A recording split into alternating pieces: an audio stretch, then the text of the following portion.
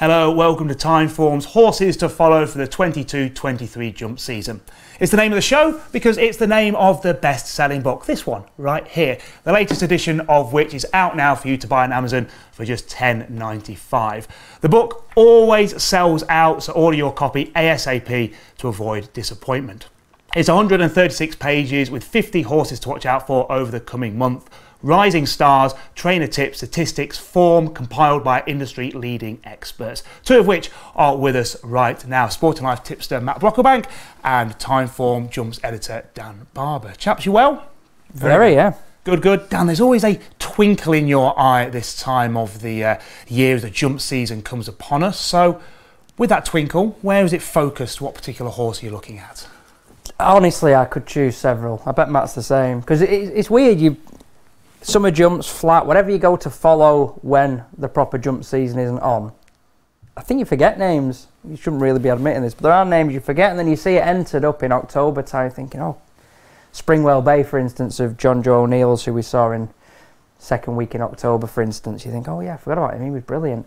Um, but these two in particular st- uh, stood out for me. And I've tried to do it a horse I've seen on track and a horse that just generally I really like. And the latter of those is a horse called Rafferty's Return of Rebecca Menzies in the famous John Wade Silks. Here he is far side. He's just got such a likeable demeanour, really enthusiastic, the type who gallop through a wall, and he's a very fluent jumper. You saw him at the last there. This is the stage of a race on background at Wetherby where he should be getting tired, but his, his technique holds up every time.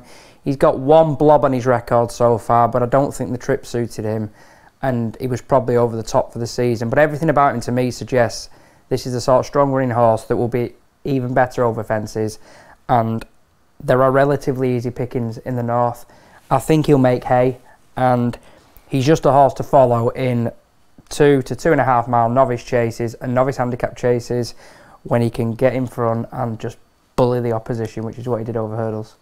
Matt, I'm only fair. I've let Dan have one, so I'll let him have a second in a minute. What about your first one? Yeah, well, I think I'd say mine is probably more of a, a shining light and a horse that's hopefully going to go all the way to kind of the big spring festivals. A horse called El Fabiolo, trained by our columnist Willie Mullins. Now, he's probably not ended the season um, quite in the same light as some of other Willie's uh, novice hurdlers, but I thought we were only really scratching the surface with this horse. Um, he was listed place in France as a younger horse, obviously a really good grounding. And then after uh, winning a Tramore maiden, he skipped the Leopardstown Dublin Racing Festival. He skipped Cheltenham as well. I think he had a bit of a cut, or there was a bit of an issue with him heading to, to Dublin. But here he was thrown in the deep end. He ran in the Grade 1 top novice hurdle.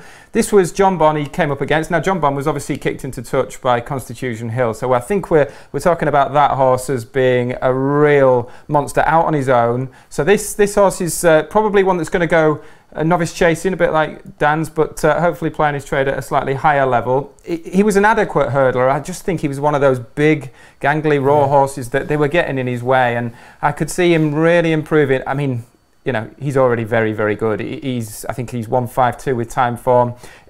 He's the sort of horse that could really step up another eight or 10 pounds with a fence in front of him. And obviously, mentioned Cheltenham, Willie Mullins, you mentioned in there as well, that the king of Cheltenham in recent years. It feels like we're just constantly, as soon as jump, even before the jump season started, we're talking Cheltenham, we're talking Cheltenham.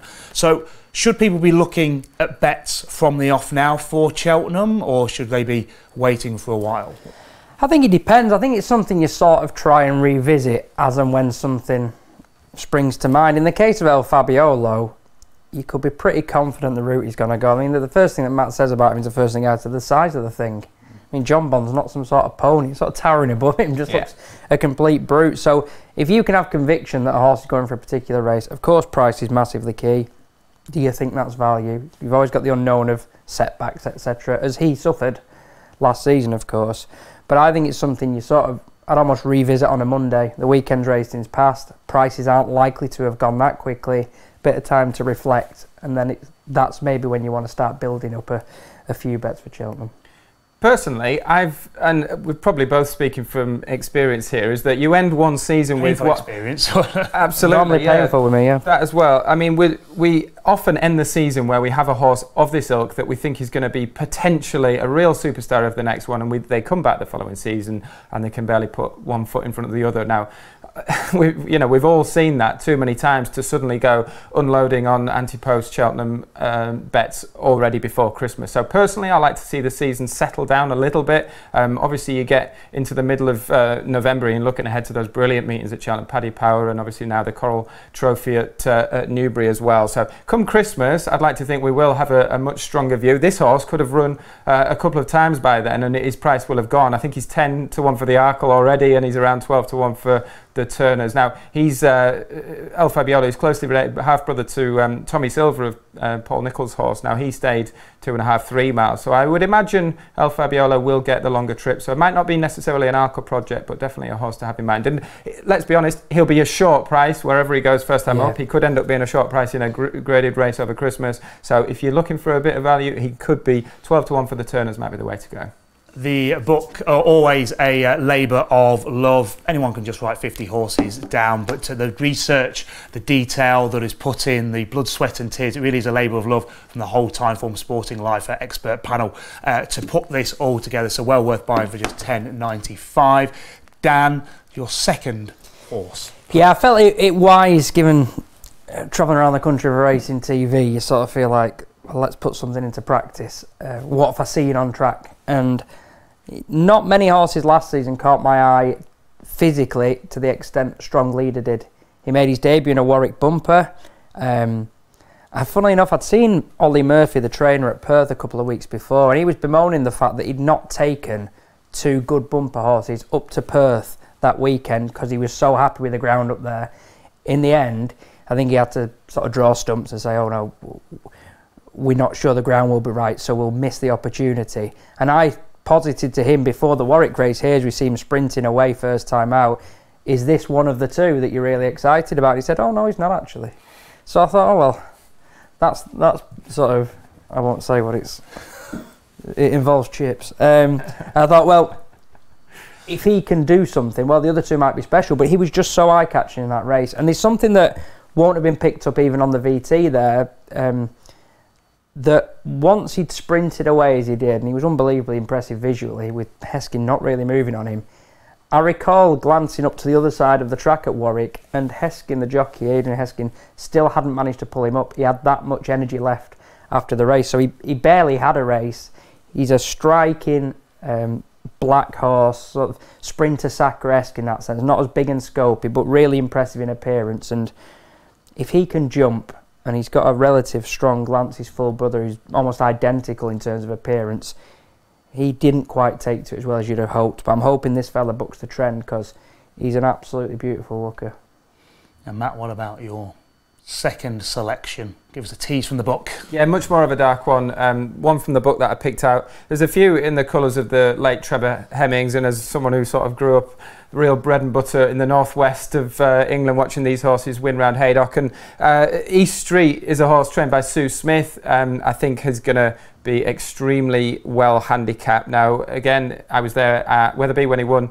Uh, first time out, you know, one of Sue Smith's a real long-term chasing prospect, winning a two-mile novice hurdle at Wetherby first time out at 11 to 8 favourite. You know, you're setting certain alarm bells off. Um, and he was unable to follow up under the penalty, but I thought they uh, they campaigned him quite nicely. I thought because he is going to be a chaser in the making, um, a, a long term prospect. I think his confidence was knocked slightly. He went a handicap debut at Catterick, and a horse um, fell in front of him quite early on in a race, and I just think that knocked his confidence a little bit. But uh, he was able to sign off last season with a win that came at Hexham over a, a longer trip, two miles four furlongs. Um, so that was the last time we saw him. He's gone up five pounds for that. Now he's only rated 112, but the horse he actually beat at Wetherby um, in the novice hurdle first time out.